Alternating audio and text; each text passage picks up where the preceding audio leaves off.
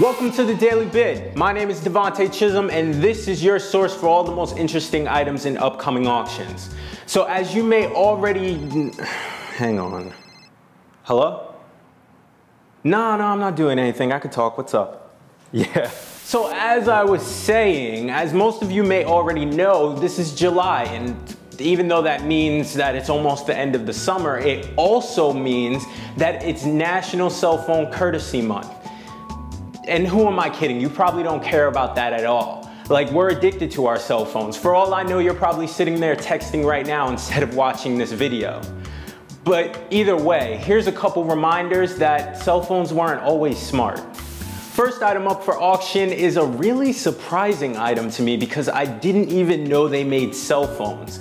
Like seeing this Mitsubishi phone is making me wonder what it would be like if Ford made cell phones. Next phone up is a little more traditional. You know, I've had a couple of phones by Motorola, mainly the Razr. Yeah, you know the Razr.